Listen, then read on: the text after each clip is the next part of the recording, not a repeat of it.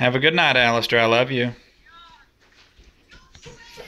Oh, what are you doing out of bed, little miss? No, Alistair's trying to go to sleep. You need to do the same thing. After you clean up this mess. Yeah. Would you like to come in here and help? Nope. Bye.